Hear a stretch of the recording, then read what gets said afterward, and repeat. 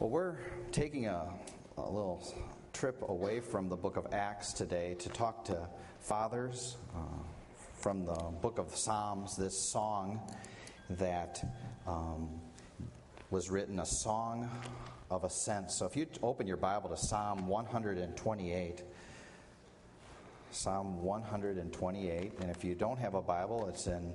Uh, open up your Pew Bible there, that's right there in front of you, and you can see um, the Word of God as it is um, opened up before you. And lots of different things to talk about when I think about talking to dads.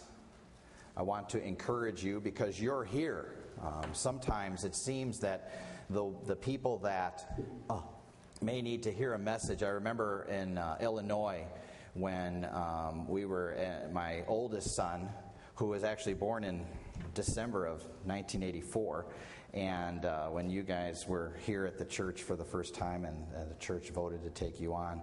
Um, and there was a concern in the community for uh, drugs were starting to become prevalent. And uh, so they had these meetings with parents concerning drugs and what needed to be known uh, uh, to battle this. And so we show up at a meeting, and there's certain parents there, and I may have shared this story before, but it was as I looked around the room, not that my kids would be ever uh, not able to do something bad. Okay, so it wasn't one of those things where I'm thinking my kids could never do this. Um, because I know me, all right, and they got my blood. Um, but the, the reality is that um, I looked around that room, and a lot of the people that needed to be there, they weren't at that thing. And so sometimes that's what you have. You have these meetings that, oh, we need to have a meeting and talk about this, and the people that need to be at the meeting aren't at the meeting. And so sometimes as I'm sharing with you, there might you might be sitting here going, you know, you're being kind of hard on us, just so you know, we're here. All right? There's a lot of pappies in the old sack back at home, and not uh, not hearing one thing here. So thank you for being here. But I think part of my job is to kind of coach, to encourage you the things that God's working on me about um, that he'd work on all of us about. So when you ever you hear me and you start hearing me and I'm getting all worked up about something, put before that, okay, he's talking to himself too. It's a let's do this as opposed to you ought to do this. It's let's do this.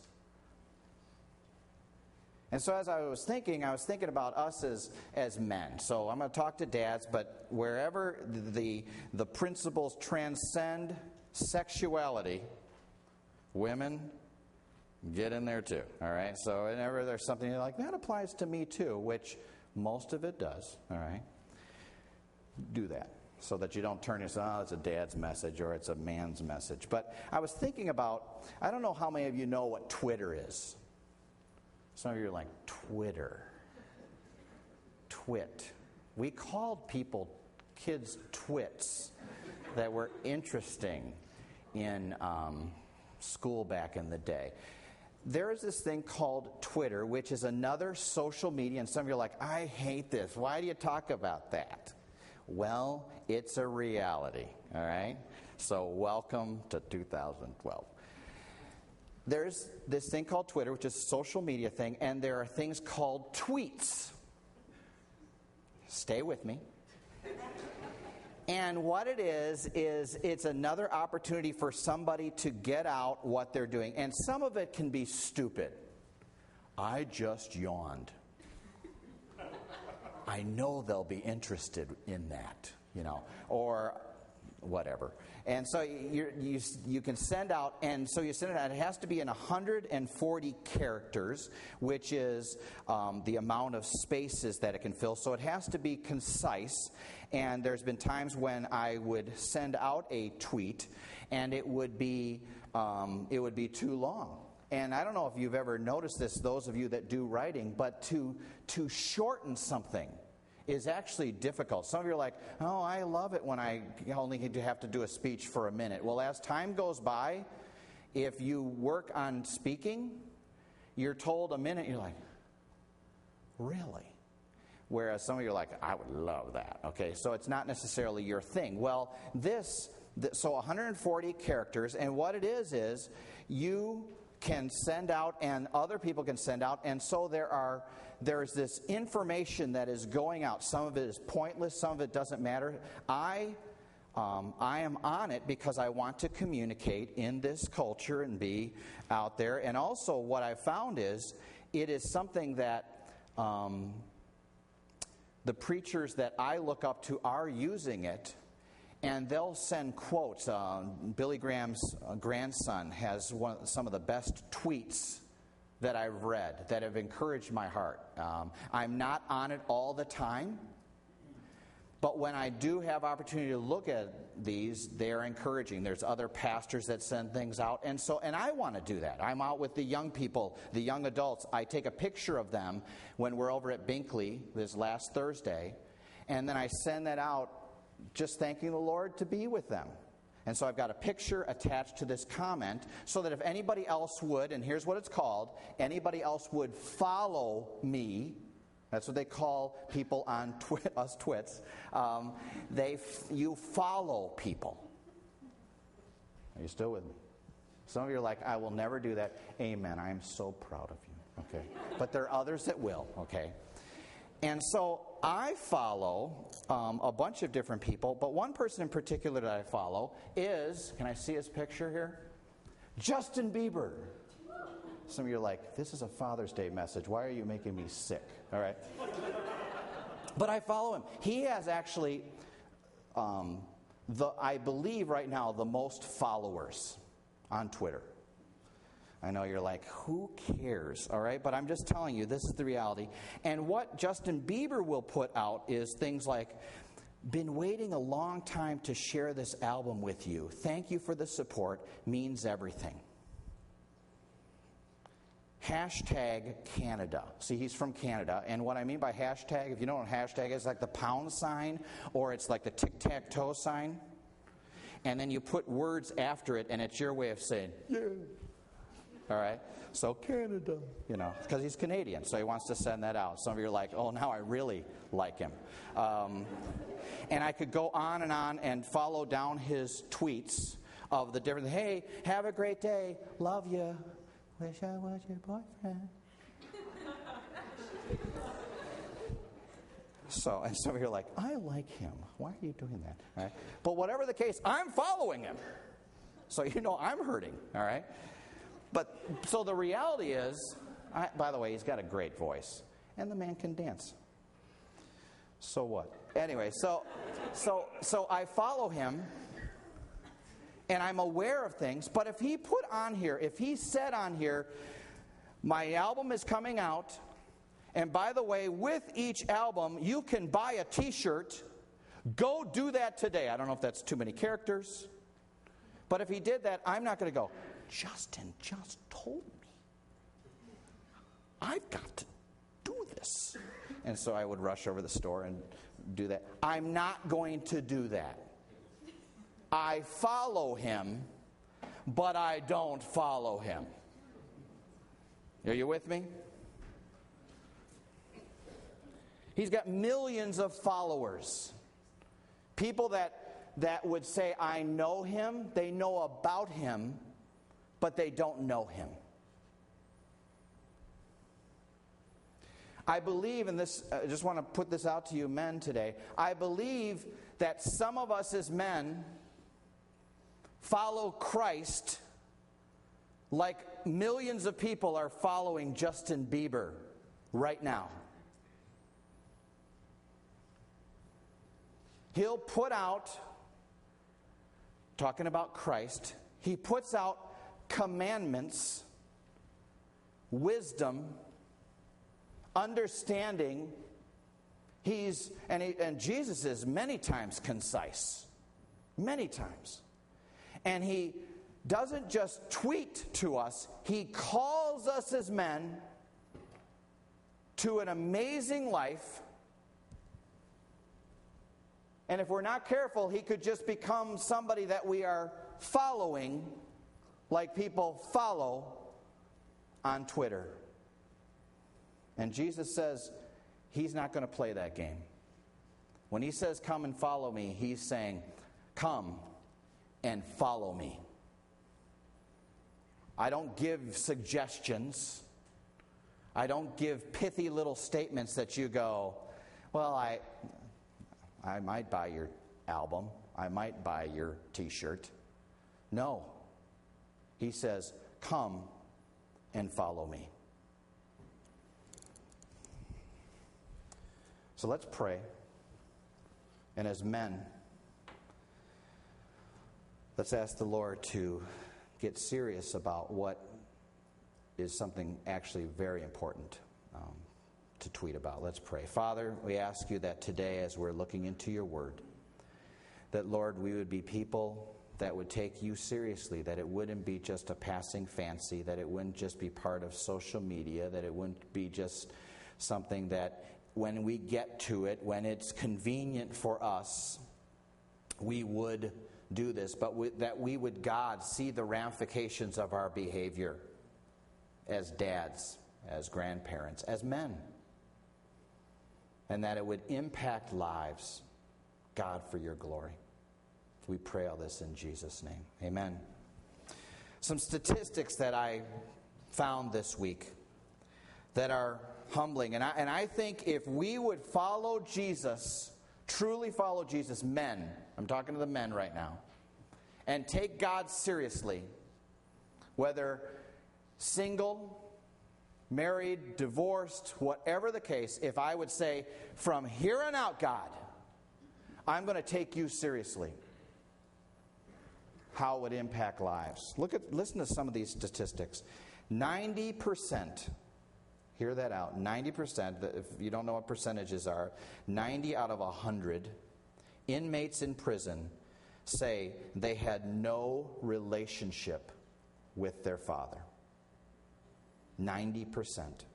I had heard a story a while back about there was a nun that was having a ministry in prisons, and she she shows up and she has uh, cards, Mother's Day cards, and she's handing them out as a ministry to have guys fill out and send to their mom as a way of saying, Mom, I love you. I miss you. Thank you for trying. I'm here.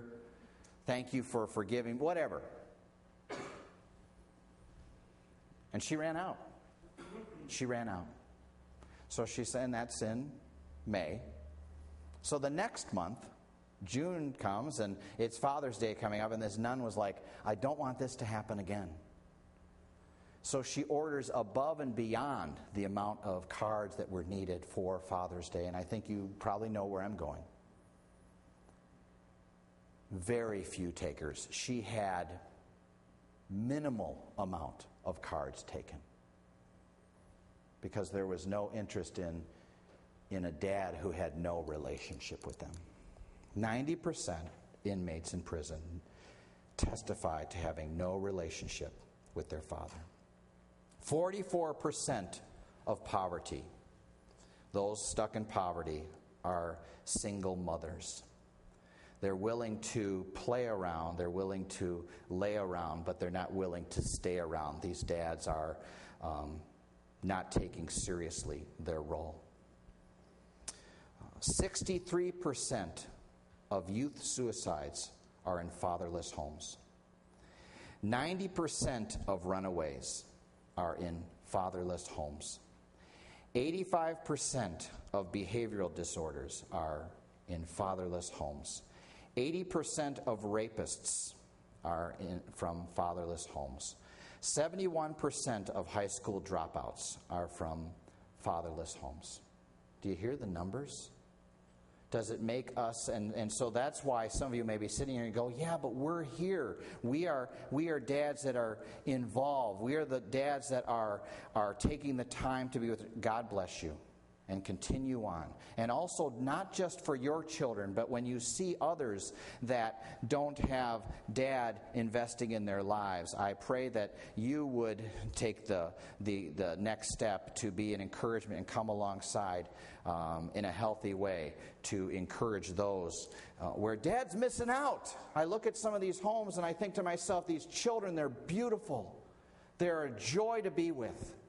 And I hear about the relationship that they, ha- they have with their father or no relationship at all, and I think what they are missing with this beautiful child, with this beautiful young man, young lady that is growing up. And I want to commend single moms this morning. Amen? I don't know how you do it, but God bless you. And I also want to um, commend you, young people, you children, you young people that are in this situation. My dad was at my house, but many times he was absent. And I'm grateful that you get to church. And you get to church on your own sometimes. And you actually are the ones that say, I will show up. I want to say to you, God bless you. And be blessed. And Grace Bible Church, we want to be an encouragement uh, to you. So, as we're looking through this and uh, as we work through this song together, I'd like you to, to think about the words this song that this is a song of ascents and a song of ascents was jewish pilgrims would sing this on their way up to jerusalem on three annual occasions.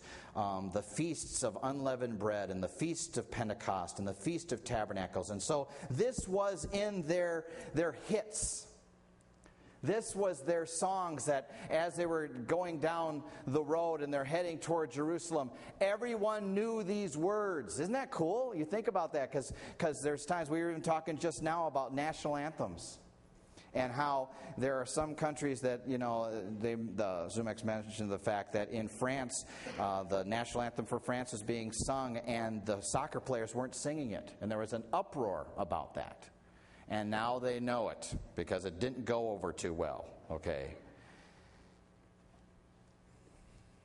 This is one of their songs. This is the song of Israel as they're making their way, and everybody knows the words. Everybody, everybody understands it. They're, they're singing it out, okay, as they're making their way to Jerusalem. So take, keep that into mind that this is a song. And what's the beauty of songs is you remember them.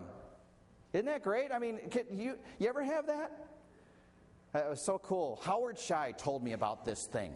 You ever heard of a thing called Shazam? And I'm not talking about Captain Marvel, okay? There's this app, it's free. An app is a thing that you can get on, a, on your smartphone, okay? I need a smartphone. Probably figure out why.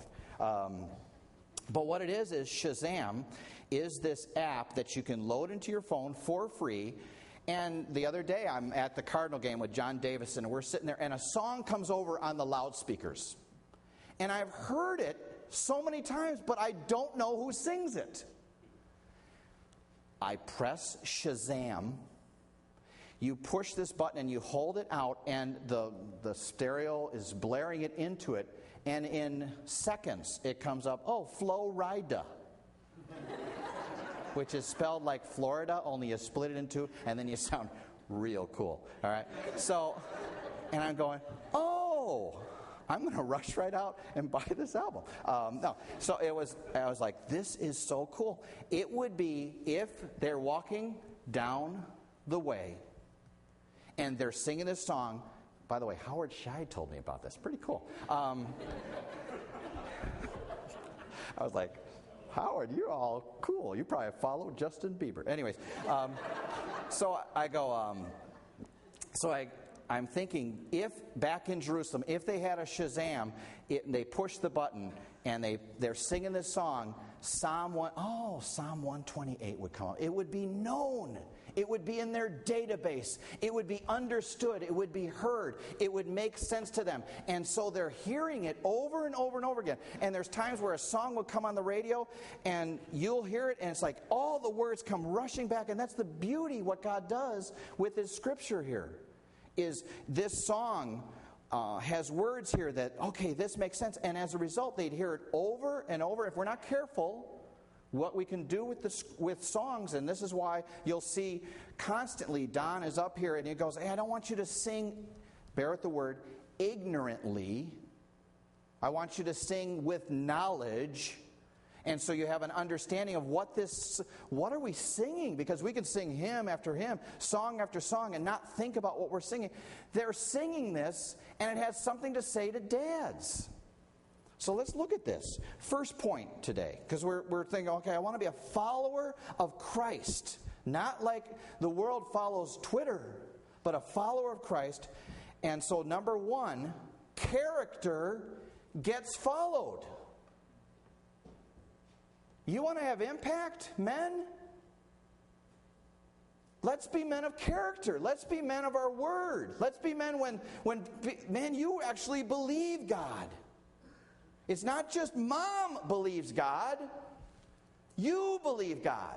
It's not just mom is dragging me to church, but dad is making the effort. It's not just mom is interested in studying the Bible, and mom is godly, and mom is this, but dad actually, I'm doing it. I'm doing it. No matter, and I'll, and today will be the day I start if you're not doing it. Because character gets followed. Look at this first verse here. After the the um, the prologue there, a song of ascents, it says, "Blessed or happy is everyone who fears the Lord, who walks in His ways." This who fears the Lord, it's a, a good working definition is provided by the parallel line, who walks in his ways. What does it look like to fear the Lord? Respect the Lord? I walk in his ways. God, that's what God wants me to do? I'm doing it. Because what daddy does, we do.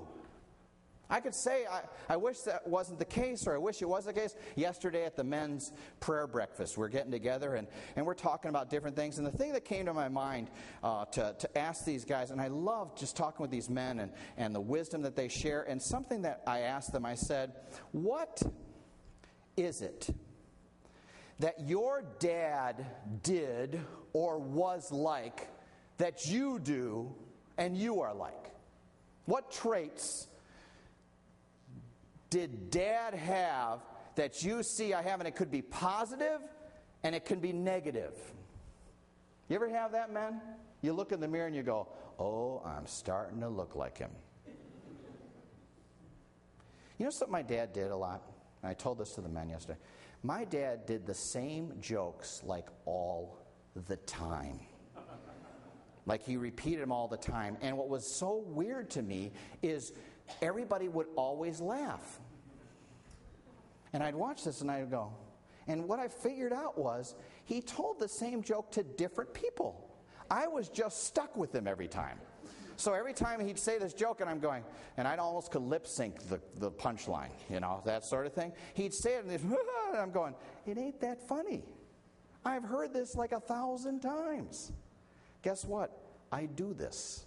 And some of you are sitting there and you go, we know. I got his hairline. You're like, there is no hair. Okay, that's the horseshoe head. You know, that I got it from my dad. All right. I could go on, and, and the, there's negative things that I see that my dad did. That my heart, I'm like, oh, Father, I, I don't want to do that. And some of the men, as they were sharing, it was so cool because they go, My dad was this, and it was negative things. But they said, and there was a certain point I determined I'm not going to do that. And some people, oh, that may be a pride thing. But whatever it takes, if it takes that to spur somebody on, hopefully you have a better, better attitude concerning your father. But whatever the case, if there was something that dad did that he should not have done, that at some point you break the cycle because there are some guys and I still I come across guys they're still blaming their dad for how they're acting. They're still a victim. And they reach a certain age, you know what? Grow up. Now you are responsible. Because if you know it's wrong, stop doing it. I'm sorry your dad didn't throw a baseball with you. My dad didn't either. I did it. Okay? But there's and there's other things. My dad didn't do this. We get it. Your dad was Genghis Khan. All right? But forgive him. Move on. And determine in your heart, I'm not going to make excuses anymore. I, God, I want to be a man of character. And if there's an older gentleman that you're looking at and you're going, man, they, and, and by the, the older men that walk with God, they admit, I'm just a sinner saved by grace, okay? But if there's somebody you look at and you respect them, I don't, I don't know how they would be offended by this, but you know, hey, I've been watching you. I just sense something. I've been praying about this. I need somebody to mentor me. Would you be willing to do that? And they might be going, man, nobody's ever asked me to do that. But you learn together. And a lot of it is just what's God done in your life. It's just so cool. Don't, don't wait for a church program to set that thing up. Oh, we got to have this. You know what? You know your heart. You know what you need. And by the way, ladies, that's kind of a good thing for you too, for an older lady. And older ladies, get ready. Somebody might floor you. You know, this, this verse here may have been the basis for Jesus' illustration of the two builders. Look at Matthew 7 24 through 27. Everyone then who hears these words of mine and does them will be like a wise man who built his house on the rock. And the rain fell, and the floods came, and the winds blew and beat on that house, but it did not fall, because it had been founded on the rock. And everyone who hears these words of mine and does not do them will be like a foolish man who built his house on the sand. And the rain fell, and the floods came, and the winds blew and beat against that house, and it fell, and great was the fall of it. What's, men, what's your basement looking like? What's your foundation looking like? Let's ask God to make us men of character. Look at verse 2 of Psalm 128. He says, You shall eat the fruit of the labor of your hands. You shall be blessed, and it shall be well with you. The labor of your hands, the quiet, peaceful life of a thriving, prosperous workman in the country with no fear that the harvest will be trodden down by the invader before it is ripe, or the cattle swept off by some roving predatory tribe. The opposite is threatened as a curse in the law. Leviticus 26, 14 through 16. But if you will not listen to me, and will not do all these commandments, if you spurn my statutes, and if your soul abhors my rules, so that you will not do all my commandments, but break my covenant, then I will do this to you. I will visit you with panic, with wasting disease and fever that consume the eyes, and make the heart ache, and you shall sow your seed in vain, for your enemies shall eat it. He's saying, he's saying, and this is under the law, this is to Israel. We understand uh, this is a covenant with Israel. Uh, the Mosaic covenant was one of conditional. You do this, this will happen. If you do this, this will happen. Good, blessing. Bad, curse. And I understand we live in the age of grace, but you do know that there are principles here that, that do still stand. Because in, in the age of grace, in the book of Galatians, it says, in the letter of Galatians, he goes, Do you not know? It's, it's what you sow, you reap. And the beauty of that verse, because sometimes they're like, oh man, because some people, they're sowing bad stuff, and then on the weekend they're praying for, you know, crop failure. But the beauty of it is this if I sow what Christ has called me to, what grows out of that? Because sometimes we just make it a sin thing. If I do this bad thing, oh, it's just heavy. But God's saying, what are you investing in? What are you putting in? Look at the contrast here Isaiah 3 10 and 11. Tell the righteous that it shall be well with them, for they shall eat the fruit of their deeds. Woe to the wicked, it shall be ill with them, for what his hands have dealt out shall be done to him. God is constantly, He's doing this as a warning, and it's a warning out of love. He's tapping on the shoulders of men. What are your priorities? Who are you following? Do you say you follow me? So character gets followed. Secondly, point number two strength gets followed. Look at the first part of verse 3. He says, Your wife will be like a fruitful vine within your house it's within your house. The, the woman's apartment says, marking the proper sphere of the wife engaged in her domestic duties. Remember the context or the culture that this is written in. And also, to some extent, her seclusion, though this was far less among the Jews than among, and this, this writer writes, other Orientals. This word vine, an emblem chiefly of fruitfulness, but also of gratefulness and dependence as needing support.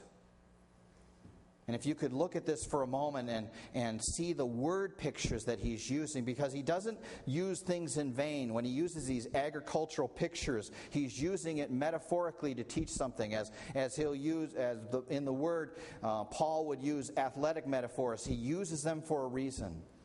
So, this vineyard, this vine idea, let me read it again. Verse, verse 3, first part there. Your wife, he says, if you, blesses the man who fears the Lord. So, if I'm walking in his ways, I'm happy. This is going to be the, the results that happen out of it. Your wife will be like a fruitful vine within your house. If I'm walking with God the way I ought, it, it has ramifications for how I am treating my wife, how I'm treating my daughter, how I'm treating women. And if you could see the picture there, um, growing up in Chicago, there wasn't a lot of um, vineyards around when I'm, but something that I do remember. Um, on some of the houses, some of the apartments in the city, there were these houses that had vines that would just cover the house. It was green. It was like that ivy and Wrigley, where it just it covers it and uh, it would go around the windows and it would just attach itself to that. Was thinking, whoa, what a it was it was beautiful in some ways. And I and I see the picture here, and he's saying that this this vine wants to thrive, and it wants to thrive attached to something strong enough to hold it up. The times when, i when we drive through Missouri and, and you see those vineyards, the beauty of it, they're, they are attached to something holding them up. And God is saying to us as men, what are you strong in?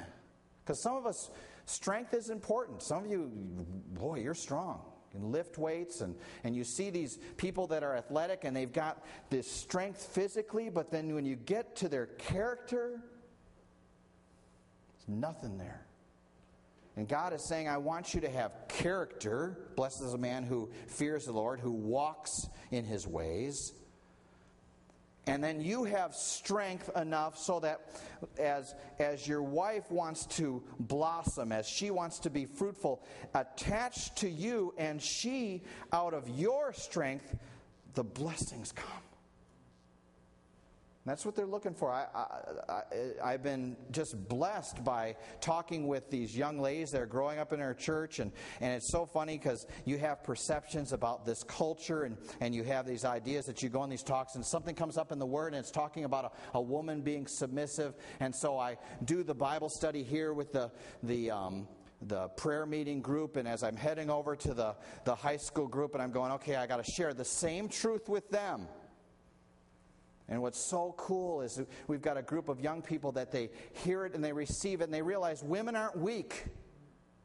We know that they're not weak. I'm not having any babies. Thank you, Jesus. All right. But some of the things that these women go through physically, what they can handle, their, their ability to handle pain and stuff like that. But the Bible calls them a weaker vessel, and they are that, that china, that beautiful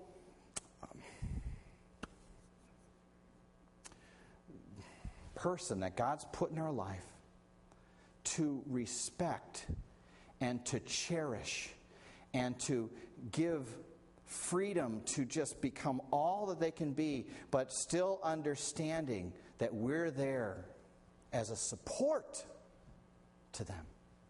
It's beautiful. And so, as I'm sharing this with you, they're like, I want a guy like that. I'm sick of guys that think they're all that and, all, and there's nothing on the outside. But their character is like hollow. Strength gets followed. And so from here on out, guys, if, if it hasn't been the case, and you might be, I don't even want, I'm not going to come forward in an invitation. I just want to be that guy. We need each other. I'm surrounded by a bunch of guys that encourage me in my marriage, that encourage me in my walk with the Lord. Thank God for them. So, character gets followed and, and strength, get follow, strength gets followed. And lastly, point number three far-sightedness gets followed. If I would think for a moment here of the ramifications of my behavior, that, eh, that I'm starting, and some of you guys aren't married yet. Some of you guys aren't married yet. But down the road, you're going to say, what kind of dad are you going to be? What kind of husband are you going to be? And you determine now. I'm telling you, that that keeps you out of a lot of problems. I remember, I've shared this before with you. Josh McDowell, great apologist, great speaker. An apologist doesn't mean he was saying, I'm sorry all the time. Apologist means that he was a person that knew how to defend his faith. And he had this thing called this, this tape. I remember this is back in the 70s. Okay? I'm like 11, 12 years old. Listen to this tape, and it's called Maximum Dating, old cassette. I'm listening to Josh McDowell, and he tells me this line, and this had ramifications for me. It said this treat every girl you date like you'd want your sister to be treated on a date. I never forgot that. Gold. That kept me out of so many problems because I'm thinking, man, if I start making this move on this girl, I wouldn't want a guy doing this to my sister, almost getting mad at me. I'll beat you. Oh, I'm sorry. I'm sorry for you. I'm telling you. To, to, to allow God to impact you to think like that so that down the road so that there be no regrets so that when you go back to your high school reunion you wouldn't have to go know i'm, I'm just sorry i don't want to see her but i can go back to my high school reunion. Most of them don't even remember me so i got nothing to bring to the table i guess. There we go. Thank god. Look at the verses here. Second part your children will be like olive shoots around your table. Yesterday, because of this, I thought it only right that Kim and I researched, and so we had to go to Olive Garden. I didn't want to. I said, okay, honey. Just keep, keep bringing the breadsticks, that's all I'm saying. Breadsticks and butter, baby. Diet Coke right there. All right, so. I'm just doing research. It was for you, not for me. So, anyways, but it said here is your, your children will be like olive shoots around the table. I want you to look at this olive tree. Got a picture here off of the internet. This next uh, click of the, yeah, look at that. Olive tree. That, that is just solid. And, and so it says your children are like olive shoots that are around. I don't know if you've ever seen that where at the base of your tree, sometimes you're having to, to uh, chop them down, but whatever this is shooting out, this, the shoots grow off of the main root of an olive tree to reproduce. The olive represented the vigorous, healthy, joyous life. You think about olive oil. The when you're dipping your breadstick in there, you're you, just the the and the just the, the just a beautiful taste and the and the and the the abundance and how Israel, when, when they would read something like this, they, the olive trees are all over the place, and they go, I want to be fruitful like this. I want to have an impact like this. And, and so to have the farsightedness to go, I want my children to rise up and call me blessed also, not just my wife. But when they think of dad, they go, He loved me, and he loved God. And he loved me enough to have the hard conversation when I need it. And he earned the right to speak to me through moral authority. Verse 4 Behold, thus shall the man be blessed. He has to repeat it again. This happens in, in the Hebrew songs, in the, in the, the repetition here. Behold, behold thus shall the, the man be blessed who fears the Lord. Verse 5 the, the Lord bless you from Zion. May you see the prosperity of Jerusalem all the days of your life. It says, out of Zion, the dwelling place of God. Blessing flows from Him. And, and what I see here too, and this is a principle that you and I can have even in America. what I'm doing as a dad has national ramifications. How I'm raising my children and how I'm impacting young people outside of my home. Our country will be blessed by fathers taking their jobs seriously, by men doing that. And so I feel a calling, your pastor feels a calling. I, do, I care about girls. But I feel a special calling because I feel like a lot of times men are put aside or they don't take God seriously or they think, oh, church is just for girls. I'm going to do everything in my heart as I share to make them realize that this God thing is a man thing too and not be embarrassed. So I'll come alongside these, these young men, and some of them, they're wrestling with masculinity. They're, they're trying to figure themselves out. What is a man? What does a man look like? And so I'll play basketball with them, but at some point, some conversations are going to come up, and real life stuff comes up. Because I want the men in Warrenton, the men in Warren County, these young men to know there is a place that they can come, that they're going to be loved they're going to be respected. And then I'm going to challenge them. Challenge them, first of all, to receive Jesus Christ. Because none of this starts in their own strength. I, I need Jesus. So if you're ever wondering, why is, he, why is he so passionate about that? So I feel like if we can get some men, get a clue here, I think there'd be some women that would go, I like that. I'll follow that. Last verse, verse 6. May you see your children's children. Peace be upon Israel. Look at some of these other verses in some other songs here and, and some poems of wisdom. Psalm 103 17. But the steadfast love of the Lord is from everlasting to everlasting on those who fear him, and his righteousness to children's children. God looks at ministry as long term. He isn't just about your kids, he's about your grandkids. Psalm 112 His offspring will be mighty in the land, the generation of the upright will be blessed. Proverbs 13 22. A good man leaves an inheritance to his children's children, but the sinner's wealth is laid up for the righteous. Proverbs 17 6. Grandchildren are the crown of the aged, and the glory of children is their fathers. Isn't that cool? That's what he's called us to. This is what he's called us to. Lord, we'd ask you that we would uh, step out and be obedient.